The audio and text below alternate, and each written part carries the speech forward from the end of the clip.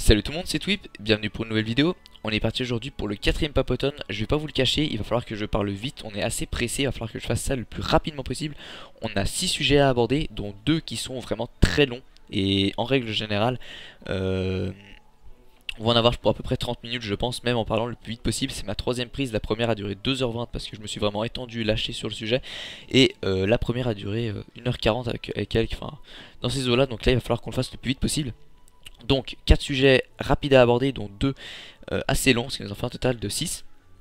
Donc le premier c'est la centième vidéo Alors pour ceux qui ne le savent pas j'avais déjà euh, abordé ça dans une de mes anciennes vidéos Je n'arriverai pas à vous dire laquelle euh, Il y a quelque chose de prévu pour la centième vidéo Le projet X hein. Alors rien de rapport avec le film je préfère préciser Projet X, projet Z c'est comme vous voulez Mais en gros il y a quelque chose que je prévois depuis le 18 mars Donc c'était pas à la base censé être pour être spécialement pour la centième vidéo mais je trouve que ça aurait pu être vraiment très sympa parce que c'est quelque chose que vous n'aurez pas l'occasion de voir souvent euh, sur YouTube comme dans Dofus. Mais hélas euh, il y a un petit c'est que là actuellement je suis sur Crocobrio avec Suxelor, avec une Yoped je suis sur Jiva, avec une Nekaflip je suis sur Danator et avec un Yop je suis sur Amaerio donc ces quatre personnages il va falloir que je les fasse migrer sur Alistair. Couille. Donc euh, la grosse couille, on va dire, c'est que j'ai euh, accidentellement migré. J'ai décidé de payer ma commande en vendredi et j'en suis supprimé le mail. Donc j'ai un gros doute dans ma tête. Je sais qu'actuellement ça fait à peu près un mois, juste pas. Donc euh, là on est merc... on est jeudi, yes on est jeudi. Euh, après demain c'est le week-end. On est jeudi 19, donc mercredi 20 c'est à peu près... vendredi 20 c'est à peu près la date où j'avais migré en août. Et ce qui serait vraiment cool c'est que j'arrive à pouvoir migrer là maintenant. Donc il y a tout qui est prêt tout est prêt. Euh, là, je peux juste pas payer la commande parce qu'il y a un mois d'attente. Donc, si j'arrive pas à payer euh, ma commande le vendredi 20 euh, ou peut-être après, pour pouvoir rentrer le mardi 24, et eh ben vous n'aurez pas cette spéciale vidéo pour la centième. Vous l'aurez, mais plus tard. Parce que je peux pas vous faire deux vidéos en une semaine et demie pour que vous attendiez, ce serait un petit peu dommage. À. Je remplacerai par une autre vidéo, j'en sais rien moi, un truc où on parlera tranquille ou je sais pas, on verra. On a le temps. Enfin pas vraiment mais on verra. Donc euh, voilà ça c'était un truc qu'on m'avait demandé. Je préfère leur dire maintenant. Également ça c'est un truc que je tenais à aborder personnellement. C'est les astuces Kama sur YouTube. Alors il n'y a rien en rapport avec ça. Je veux préciser des dates. Alors je vais rapidement vous expliquer. Il faut savoir que nous youtubeurs, on va plutôt dire euh, mes collègues youtubeurs, plutôt collègues voilà sortons euh, régulièrement des astuces Kama et au bout d'un moment elles ne marchent plus. On est d'accord, c'est normal. Il hein. y a ceux qui le font deux trois fois parce qu'ils veulent juste se faire quelques gamins et il y a ceux qui vont les saigner, les vous utilisez le terme que vous voulez et qui en gros vont euh, tout simplement la, la, casser, elle ne marchera plus. Et puis par la suite de ça, eh bien euh, les gens quand ils vont voir la vidéo vont essayer, ils vont voir que ça ne marche plus. Ce que je peux vous conseiller, et ça c'est quand même assez important, vous regardez toujours la date de l'astuce Kama, de quand est-ce qu'elle date. Si vous voyez une... Euh, aujourd'hui on est le 19 septembre, si vous voyez une une astuce sur YouTube qui est sortie le 14 septembre 2013. Là, vous pouvez voir parce qu'il y a de fortes chances qu'elle marche encore. Mais si vous voyez une vidéo qui est sortie le 14 janvier 2011, là vous avez des fortes chances qu'elle ne marche plus. Donc euh, c'est pour le cas d'un de, mes amis qui avait testé une astuce Kama, je pense que vous l'avez tous connu, celle des succès du jour Incarnam. Dommage je ne jouais pas encore quand c'est revenu ces succès mais qui en gros, mon ami il a fait tous ses comptes et tout, il est arrivé devant le donjon, il l'a fini, il a vu que ça avait été patché, et il s'est retrouvé bien con, il avait perdu presque deux heures. Donc là-dessus, euh, c'est le genre de truc, je vais vous dire, regardez toujours les dates, parce que vous êtes beaucoup à vous plaindre que comme quoi ça ne marche plus, mais quand je regarde, c'est vrai, mon astuce des runes d'Okri, quand je l'avais sorti, euh, je l'ai sorti vraiment quelques jours après que l'anneau en lui-même soit sorti, elle ne marchait déjà plus parce qu'elle était tellement rentable. Euh, je me souviens qu'au début on dépensait un million et on avait 6-7 euh, millions de bénéfices. Aujourd'hui on en dépense 3, on a 4 millions de bénéfices. Euh, c'est revu à la baisse, mais d'un côté j'ai envie de vous dire c'est normal, donc ça sert à rien de se plaindre, c'est comme pour mon astuce bijoutier. moi les kamas quand je l'ai fait ben, sont arrivés directement, maintenant je sais que si je voudrais remonter en personnage, ça ne fonctionnerait plus ainsi parce que trop de monde l'a fait, il y aurait toujours un petit bénéfice mais beaucoup plus maigre. Voilà. Ensuite, nouvelle série. Alors, actuellement sur ma chaîne, il n'y a qu'une série, c'est Camaroche. Euh, je pense, moi je considère ça comme la seule série. Euh, les Coliseum, les Papotones, c'est pas vraiment une série parce qu'il n'y a rien, il y a rien de suivi. Attendez, je vais vous faire rentrer dans un combat, ça sera peut-être plus intéressant pour vous. On a du Royal Moot ou du Ben Patel. On va dans du Royal Moot. Ah en plus il y a du challenge, oh, oh on arrive à la fin, c'est magnifique. Alors, euh, donc les séries pour moi il n'y en a qu'une de sortie actuellement, c'est... Euh, c'est... Euh, Camaroche.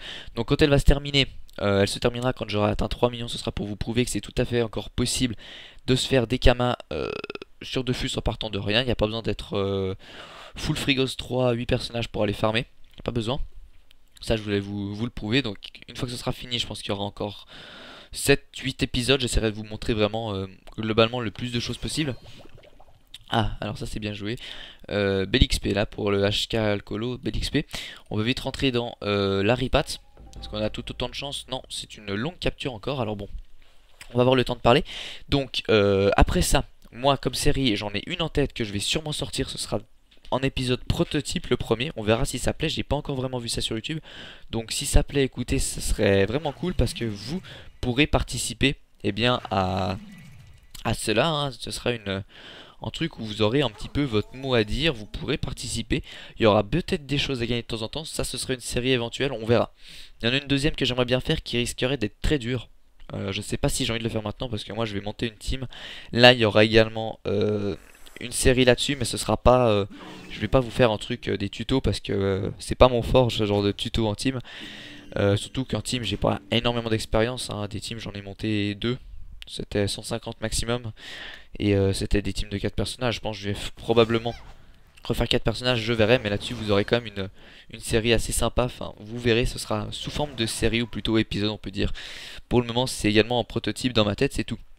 Ensuite, présentation de Moxelor. Alors, euh, la présentation de Moxelor ne risque pas d'arriver tout de suite.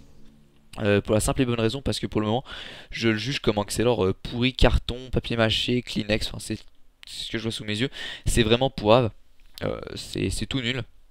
Et je garde ce stuff uniquement parce qu'il me donne 700 de sagesse à peu près et 700 d'agis c'est la seule raison valable parce qu'en PVM il assure toujours autant. Mais pour moi en PVP c'est un petit peu une brelle Moxel. Donc pour le moment vous n'avez pas de présentation parce que j'en juge pas nécessaire. Pour moi c'est pas c'est pas important, c'est pas une bête donc c'est l'or. Donc je pense pas que c'est un exemple pour vous de le suivre euh, là-dessus. C'est surtout pour ça. Mais en revanche, là, il est 194 et des paillettes, 76 312 023 points d'XP. Une fois que ça c'est bon, il me restera 3 levels complets. Enfin non, 2 levels. Je sais pas trop combien Comment on peut regarder ça faut, faut, que je le monte 198. Là, je le passe terre. Il y aura deux stuffs. Il y aura un stuff full dommage, à peu près à 1000 de terre, 3000 autour d'eux. Donc ça, ça fera vraiment plaisir ce genre de truc. Et il y aura le deuxième stuff qui sera orienté euh, full vita, sagesse, puissance. Euh, pas du multi, ce sera vraiment un stuff full retrait. Orienté par exemple si euh, soudainement il y a une attaque de prisme ou de percepteur.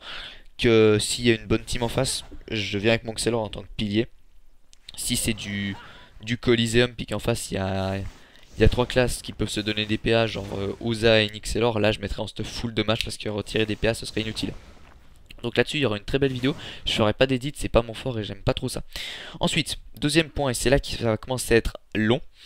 Euh, pourquoi je désactive les likes et les dislikes sur ma chaîne Alors ça, c'est très simple. J'ai longuement été sur YouTube, moi ça fait à peu près deux ans d'expérience en tant que YouTuber et non viewer, hein, viewer ça va bientôt faire 4 ans je pense.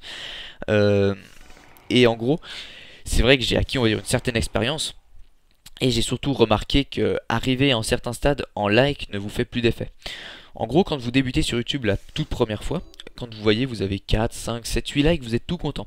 Puis un jour, vous allez vous bouffer en dislike le dislike sera pas expliqué, vous n'allez pas comprendre. La personne sera, aura peut-être juste passé une mauvaise journée et va venir euh, en déposer un comme ça, cadeau sur votre vidéo, mais vous n'allez pas comprendre pourquoi. Et là, vous allez commencer à entrer dans un état de frustration. On peut dire ça comme ça. Vous n'allez pas comprendre, vous allez vous dire est-ce que ma vidéo est pourrie? Donc déjà, rien que là, vous allez vous remettre en question. Vous allez essayer de faire un meilleur travail, mais finalement, il va s'avérer que c'était en haters. Et en gros, du coup, euh, la personne en question va continuer à mettre des dislikes, mais l'autre va dire mais je comprends pas je m'applique mais ça marche pas. Ça arrive qu'à moi j'ai l'impression et là cette personne va commencer euh, à être déçue puis petit à petit prendra moins de plaisir à faire des vidéos et là au bout d'un moment la chaîne va couler.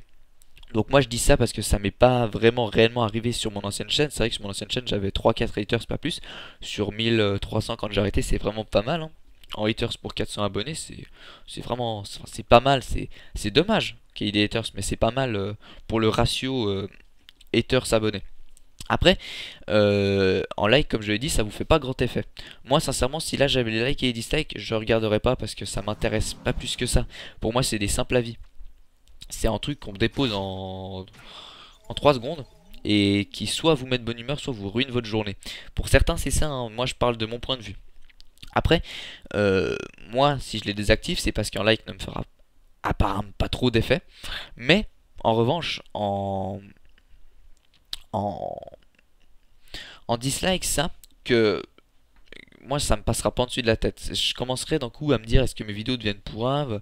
Sincèrement, je sais pas trop quoi faire pour, euh, pour les améliorer et tout. Vous voyez, ce, je, vais me, je vais me remettre en question, mais du mauvais côté. Je vais pas me dire ah, il faut que je me motive plus. Là, je vais arriver sur mes vidéos, puis je serai un peu, un peu déçu. Je me dirais mais quoi que je fasse, il y aura des dislikes. Donc là-dessus, moi c'est vrai que c'est en partie pour ça que j'ai décidé de pas les activer cette année à mon retour. Alors je dis cette année comme si j'allais faire euh, plein d'années euh, sur d'autres chaînes. Non, non, c'est là, j'espère que c'est la bonne, je prends beaucoup de plaisir. J'ai une très bonne communauté, ça je peux le dire sincèrement. Et euh, quand on bloque généralement les likes et les dislikes, c'est parce que on espère avoir d'autres avis. Et moi c'est vrai que je me suis dit que ça marcherait pas. Mais, étonnamment non, vous êtes toujours aussi cool, vous, posez, vous postez des commentaires. Et c'est ça qui est vraiment sympa, c'est ce que les commentaires que vous postez sont, eh bien, euh, sont, franchement sympas. Et c'est là qu'on voit réellement que quelqu'un a aimé une vidéo ou pas, c'est parce qu'il prend le temps, vous voyez. Il, vient pas, puis bon, bah voilà, je mets mon petit like, ça lui fera plaisir. Ouais, bah tiens, euh, vas-y, aujourd'hui, euh, le prof, il m'a foutu au fond de la classe parce que j'ai cassé des lampes. Pas de vécu, absolument pas. Et puis... Là-dessus, le mec il va arriver, bah vas-y tu sais quoi, dislike cette vidéo, j'ai passé une mauvaise journée, pourquoi tu passerais une bonne journée? Alors que, moi là, chaque jour quand je me dis tiens je vais vous tourner une vidéo, je pars toujours avec le bon état d'esprit, je suis content, je me dis bah tiens, aujourd'hui j'aurai sûrement des bons retours, ça me fait extrêmement plaisir, donc je lance mon petit logiciel, je lance mon petit jeu et puis tranquillement je vous fais une vidéo et moi ça me fait toujours autant plaisir. Je sais qu'actuellement, si sincèrement j'aurais activé les likes ou les dislikes, j'aurais beaucoup de haters. Euh, ça c'est pas en secret. Euh, des haters, il suffit dès le moment où par exemple je fais un coliseum, que la personne se voit dedans et euh, par exemple, elle se prend une raclée monumentale. Et puis là, elle se dit, mais vas-y, quoi. Euh, ça, ça t'amuse de m'afficher comme ça, hop, en haters. Mais je te, je dis pas que je suis haters, comme ça tu me bloques pas. Et en plus, comme ça, je te, je te ruine un petit peu ton aventure YouTube. Donc moi, c'est en partie pour ça que, que j'active pas. C'est pour garder une certaine motivation. Et je sais que le jour où je stoppe YouTube, c'est en ras-le-bol venant de moi, ce sera pas de votre faute. Et c'est surtout pour ça que, que ça me motive toujours autant. Sincèrement, entre le 13 mars où j'ai commencé je m'en souviens encore. Euh, c'était ma première semaine en cuisine. C'était tout con. Hein. Mais je m'en souviens très bien. Euh, en ce jour-là, où j'ai fait mon premier salut tout le monde c'est Twip ou bonjour je sais plus trop quoi. Et là maintenant j'ai toujours la même motivation de, faire une vidéo parce que je me dis qu'après j'ai des bons retours et franchement ça motive. Donc là-dessus c'est mon point de vue, c'est personnel mais c'est pour ça. Et ensuite, alors celui-là va être assez, assez bizarre parce que ça va forcément être un petit peu en je me la pète.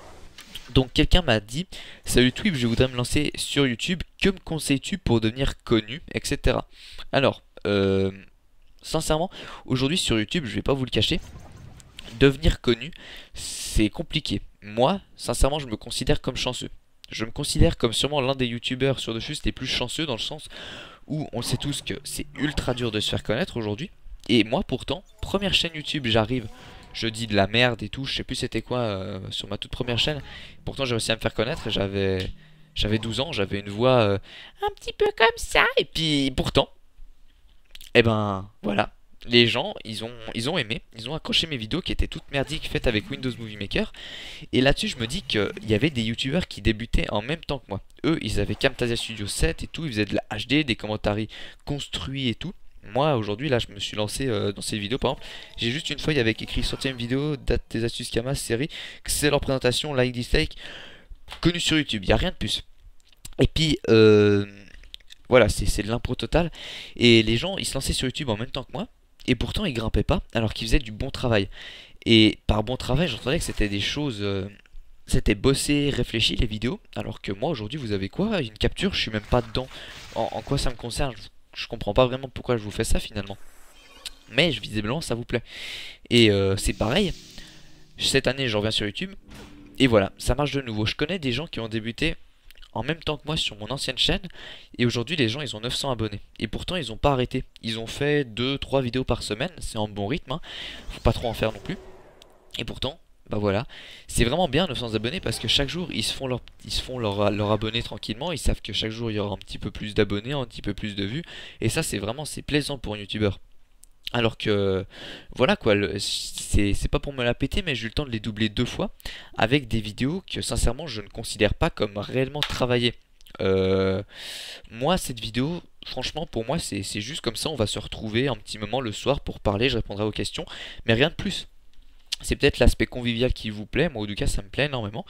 Mais euh, là-dessus c'est vrai que pour devenir connu sur YouTube aujourd'hui, donc on va faire un petit point des choses à faire et à ne pas faire. Donc à ne pas faire surtout, et ça ça marche pour tout le monde, c'est la pub. Euh, ne faites surtout jamais de pub sur une vidéo du genre... Euh, vous allez aujourd'hui sur la pub sur la chaîne à... Pas, très bien joué ça. Vous allez sur la chaîne à Vidéofus et puis vous allez commencer à faire ouais venez sur ma chaîne et tout, je fais des vidéos super drôles et tout. Ça, faut, faut, faut réellement éviter. Euh, parce que déjà, ça va pas vous attirer une bonne communauté. Donc par bonne communauté, j'entends que c'est des gens sympas qui viennent, qui commentent, qui like, etc., qui dislike et qui expliquent. Et mauvaise communauté, c'est des gens qui, voilà, euh, ils, vont vous en, ils vont vous en vouloir parce que vous êtes allé faire de la pub sur euh, une chaîne qu'ils appréciaient bien. Et puis voilà, finalement, vous allez vous choper des haters. Donc la pub, vous évitez. Canal commerce, canal recrutement, vous évitez de la pub également là-dessus parce que je peux vous garantir quand mec qui sur Defus passe une mauvaise journée et qui s'aperçoit où quelqu'un fait de la pub, il va pas hésiter à le recadrer, il va pas lui dire c'est quoi son pseudo YouTube et ça va devenir haters. Ça vous pouvez en être carrément sûr. Donc là-dessus, pas de pub et tout. En revanche, vous avez des moyens aujourd'hui qui impliquent de vous faire connaître plus rapidement. Vous avez soit le moyen d'être pistonné ou aidé par une chaîne communautaire. Donc vous avez aujourd'hui beaucoup de chaînes. Au début, il y en avait que deux réellement qui étaient connus, c'était Defus Community QG et HD. HD pour les montages et QG pour les astuces. Et aujourd'hui, vous en avez plein d'autres. Vous en avez des qui font dans l'humour, qui font dans les montages. Dans une autre, je sais vraiment plus c'est quoi, pourtant elle est assez connue. Voilà, plein de petites choses comme ça. Donc si vous arrivez à passer sur une chaîne comme ça, vous allez forcément grimper. Ce sera pas énorme, mais petit à petit vous grimperez. Moi j'ai débuté comme ça et aujourd'hui franchement ma communauté je l'adore parce que dedans il y a sincèrement en abonnés sur 100 qui, en, encore non même pas, euh, qui viendrait en, quelque sorte m'enquiquiner. Euh, sincèrement, moi je trouve que j'ai vraiment une très bonne communauté, j'ai beaucoup de chance comparé à certains. Donc là-dedans, ça inclut un petit peu les likes et les dislikes. Hein. Euh, une bonne communauté, c'est c'est des gens qui laissent toujours leur avis et qui expliquent pourquoi si c'est un mauvais avis. Et les likes et dislikes entrent en, comparaison là-dedans. Hein. C'est un petit peu pareil. Mais après, euh, voilà. Moi, aujourd'hui, c'est de mon point de vue, j'ai une très bonne communauté. Je sais pas si, vous-même vous vous trouvez cool, mais vous pouvez, vous êtes cool. Donc, euh, voilà. Après, ce que vous pouvez également faire, alors ça, c'est quelque chose qu'on a aperçu sur pas mal de gros youtubeurs. Vous avez par exemple des youtubeurs comme. Euh, alors, je pense que vous allez reconnaître pas mal Hyper, Gotaga et. Nagasaki.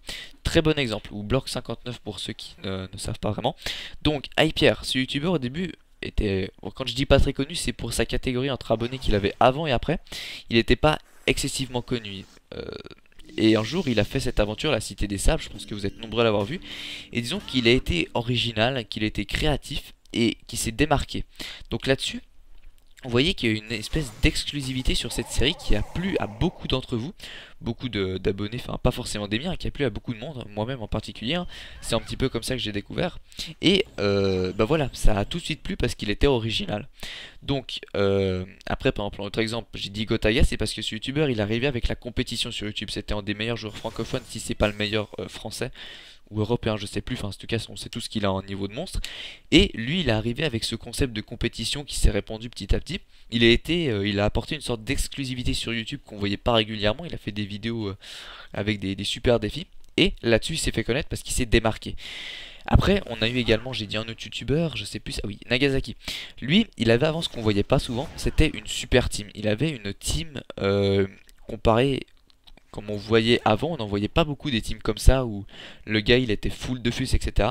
Il avait un blog qui tenait régulièrement un jour et là-dessus il se démarquait vachement parce qu'en gros il avait ce, blog qui attirait beaucoup de monde parce qu'à l'époque c'était pas des, des, teams comme ça, vous en voyez pas souvent alors que ben là maintenant euh, ben bon certes c'est répandu de plus en plus mais disons qu'il avait ce blog qui lui lui apportait euh, il avait déjà de base une super communauté parce que voilà il apportait un peu aussi une sorte d'exclusivité, vous voyez Je sais pas si vous, comprenez là où je veux en venir.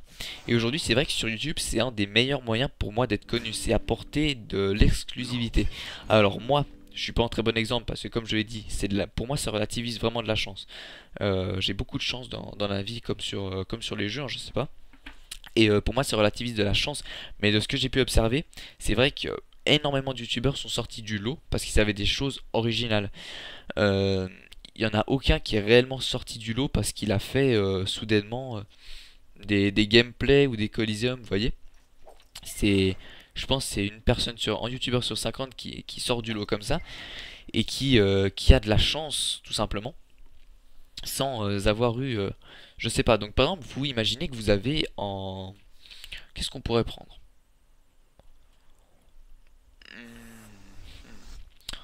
Euh, en CRA multi-éléments mais sur-cheaté, vraiment sur-cheaté par exemple euh, niveau, niveau 200. Vous voyez c'est vraiment l'un des meilleurs CRA du jeu. Et puis un jour, euh, en éditeur vous fait une vidéo. Cette vidéo est uploadée sur une chaîne assez connue. Et depuis ce jour-là, eh ben, euh, vous avez attiré l'attention des gens en faisant une belle vidéo. Ça a plu. Et du coup, les gens se sont rendus sur votre vidéo et se sont dit, bah, il est, très cool ce CRA, ça me donne envie de le suivre. Parce que vous avez été un peu original. Alors certes, aujourd'hui sur YouTube, et ça c'est un truc que j'ai remarqué, pour se faire connaître, ça sert strictement à rien de faire des plannings comme je l'ai fait en moment. D'ailleurs, c'était pas pour se faire connaître, c'était pour faire une sorte de mise en place. Finalement, ça se relativise comme de la cuisine, hein, c'est pour être organisé. Et puis, euh, à partir d'un planning, ça sert à rien.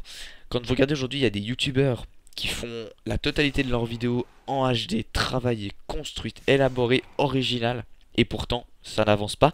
Et ça, c'est simple, c'est parce qu'il y en a trop finalement. Ou alors qu'ils ont juste pas de chance. Parce que moi comme je l'ai dit je suis arrivé 13 euh, mars. Tous les gros youtubeurs sont là. Et pourtant j'ai quand même réussi à grimper. Pour moi ça relativise de la chance sincèrement. Vous le prenez comme vous voulez mais de mon point de vue moi j'ai eu de la chance c'est tout. Euh, parce que j'en connais pas beaucoup qui qui voilà autant de chance que moi hein. et puis que, que voilà. Pour finir moi euh, en conclure aujourd'hui pour se faire connaître c'est de l'exclusivité c'est de l'exclusivité excusez-moi c'est plus de l'originalité. Euh, de l'originalité sur YouTube aujourd'hui il y en a peut-être trop. Euh, sincèrement je vais vous dire il y en a peut-être trop. Et c'est pour ça d'ailleurs peut-être que certains sont trop originales.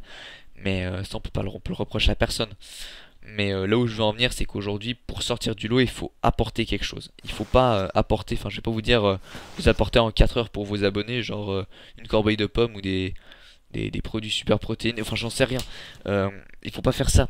Euh, quand je dis apporter quelque chose, c'est faut apporter de la nouveauté, mais pas une nouveauté du genre euh, aujourd'hui je vais faire en Coliseum avec 3 Sadidas ou merde ça a déjà été fait. Vous voyez? Pas une apporter des nouveautés comme ça. Par exemple, on a eu ces Allemands ou Sapeux qui sont arrivés avec les dommages poussés, ça s'est vachement vite répandu. Et ça, ça a été quelque chose de nouveau sur YouTube. Vous voyez, on n'en voyait pas souvent des, des, des, des, dommages poussés. Avant, on a vu également, par exemple, il y avait les... les, les... non, on va pas dire ça. Mais par exemple, il y avait aussi les, les joueurs PVP très très bas level, je pense, entre 1 et 10, qui étaient grade 10, etc. Qui faisaient des, jolies choses. Ça, c'est également apporter de la nouveauté sur YouTube. C'est intéresser les gens. Et en quelque sorte, ça... Moi, je sais que par exemple, si demain je vois un mec qui sort en Xelor multi-éléments, super beau le Xelor, super travaillé, super stuff et tout. Moi j'y vais direct parce que ça m'intéresse et c'est nouveau des vraiment multi-éléments par euh, puissance. On en voit euh, on en voit pas beaucoup sincèrement des, des très bons Xelor aujourd'hui. Ça euh, ça se fait rare. Et c'est pour ça que que moi je, je le dis, c'est ce genre d'apport un peu nouveau qui est très intéressant. Ça, ça, ça vous attire, on va dire. Donc là-dessus, vous avez, vous avez une réelle chance, je pense, si vous apportez vraiment quelque chose d'exclusif sur YouTube. Euh, pas une nouvelle série, j'en sais rien, c'est vraiment quelque chose d'exclusif. Si par exemple vous êtes euh, un... Prenons ça. Je connais pas beaucoup de, de forge mage, par exemple, de pelle. Et puis vous êtes euh, sûrement l'un des meilleurs, je crois que c'est forge mage, de pelle du, du jeu, puis vous arrivez à faire des machins de, de taré mental, vous savez. Et ben ça, d'un coup, les gens vont dire, mais ça on le voit pas souvent. Ça, c'est sympa. Ça, ça, ça donne envie d'aller voir. Je sais pas si... J'espère que vous me suivez. Enfin, c'est vraiment aujourd'hui l'exclusivité qu'il faut euh, promouvoir sur votre chaîne. Euh, une fois de plus, moi, ça sert à, rien que j'en parle, mais je, de ce que j'ai observé, c'est comme ça que, que la majorité des, des youtubeurs sortent du lot. Donc, euh, moi je vais vous laisser, c'est tout à peu près ce que j'avais à dire. Après, euh, certes, les, vraiment les, pour résumer, pour la centième vidéo, comme je l'ai dit alors, euh, elle arrivera si on le peut. Sinon, ben, elle arrivera pas, mais pas tout de suite, mais elle arrivera par la suite, ce sera malheureusement pas pour la centième. Voilà, la date des astuces Kama, faites-moi plaisir avant de commenter quelque chose comme ça ne marche plus. Regardez toujours la date de l'astuce Kama, quand est-ce qu'elle est sortie. Ne vous étonnez pas si elle ne marche plus parce qu'elle est sortie il y a deux ans. Ça fait moi plaisir, regardez ça. Pour la série, alors, les séries, ça je l'ai dit, hein. Oh merde, attends, non, j'ai zappé, je suis presque sûr que j'ai dû zapper. Euh, après Camaroche, il va y avoir une série... Non, non, je l'ai bien dit en fait, il y aura un prototype qui sortira, vous le verrez, de toute façon, je, je, le citerai bien en avant euh, de la vidéo pour vous dire, histoire d'aller chercher le problème en amont, pas que vous me dites en fait c'est de la merde, puis moi j'ai oublié de vous le dire que c'était euh, c'était le prototype qu'il fallait tester pour voir si ça plaisait ou pas, ce genre de concept. Une autre série, alors celle-là je pense pas que je la sortirai parce qu'elle sera trop dur. Et une autre, mais j'hésite parce qu'elle sera sûrement ennuyeuse. Ensuite, pour la présentation de Moxelor, comme je l'ai dit, avant que je passe 198, ça sert à rien. Bien que, encore que, une fois que je suis 198, il va falloir que je paye le stuff, même si euh, pour la centième vidéo, il y a un truc spécial, euh, assez spécial on va dire, qui vaut assez cher, et puis même j'ai plein de trucs inutiles, j'ai en, en deux sur quoi inutiles, j'ai en, en roller inutile, c'est quoi, c'est comment ça s'appelle déjà Oh merde, j'arrive pas à voir en roller, j'ai des dagdichettes, en stacili, en poulpe, en dragouf, en glacier, en melour, plein de machins inutiles qui me serviront pas. Ça c'est des machins que je peux vendre, donc là-dessus, le stuff, moi une fois que je suis sur 98, c'est une affaire d'un mois je pense, parce qu'il doit pas coûter de plus de... Encore que, le stuff Rox, je pense qu'il est à 200 millions, pas plus, mais après le, le stuff... Euh, puissance, ça va, on doit tourner aux alentours des, 30 millions maximum, donc c'est pas trop trop dur encore. Mais voilà, ensuite les likes et dislikes, je pense j'en ai assez parlé. Euh, pour moi, euh, activer les likes et les dislikes, c'est prendre en compte et prendre sur soi-même, euh, ou se faire à l'idée tout simplement qu'on va probablement perdre rapidement l'envie. Et après, euh, être connu sur YouTube, un autre point que j'aurais pu évoquer, c'est de pas traiter sa communauté comme de la merde. Alors ça, c'est vraiment très important, je vais vite en parler. C'est vrai qu'on voit de plus en plus de YouTubeurs, et moi, sincèrement, quand je regarde, je suis, euh, abonné à, ces, à YouTubeurs qui d'un coup disent...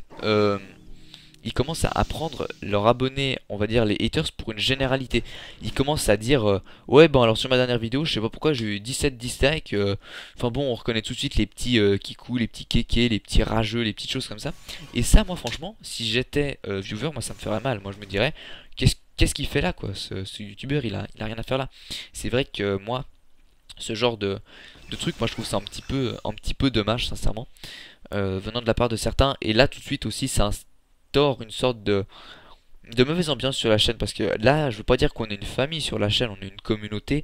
Moi je m'entends bien avec pas mal d'abonnés. Moi ça me fait extrêmement plaisir d'avoir des bons retours même si certains bon, on s'entend moins bien parce qu'il y a eu des problèmes.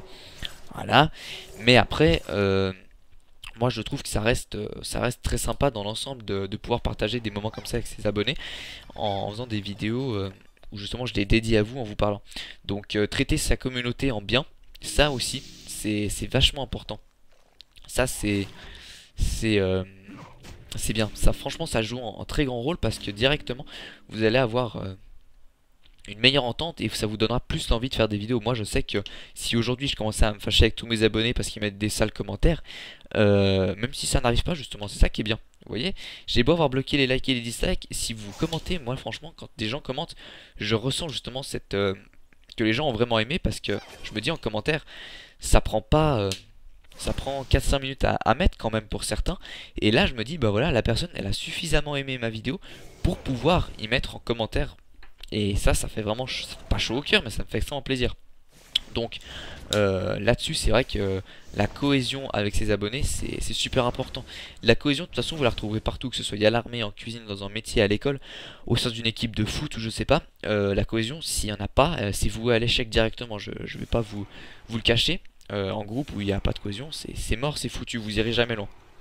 Et là, euh, moi, c'est pour moi la, cohésion est parfaite entre mes, abonnés. Moi, enfin, je sais pas si, vous le percevez comme ça, mais moi, de mon point de vue, j'ai réellement euh, toujours la même motivation depuis le jour où j'ai commencé parce que vous êtes quand même, vous êtes quand même toujours ben, présent et puis vous, vous, aimez quand même mes vidéos malgré qu'elles soient, moi, comme je dis, c'est pas la vidéo la plus travaillée du monde. Euh, celle-là non plus. On est contre une capture, moi j'ai ma petite liste devant, je suis en train de mâcher en chewing-gum, c'est voilà quoi, le but c'est prenons du bon temps, relâchons-nous, c'est le soir. 21h07, ça fait un moment déjà aussi. Donc voilà, euh, là tu sais mon point de vue, je pense qu'il y aura des retours sur cette vidéo, je referai quand même encore un petit, truc parce que je pense pas avoir tout dit. Mais euh, moi de mon point de vue, pour ce papoton c'est tout, donc j'espère que vous passerez tous un très bon week-end si on ne se revoit pas d'ici là. C'était Twip, c'était tout, à bientôt.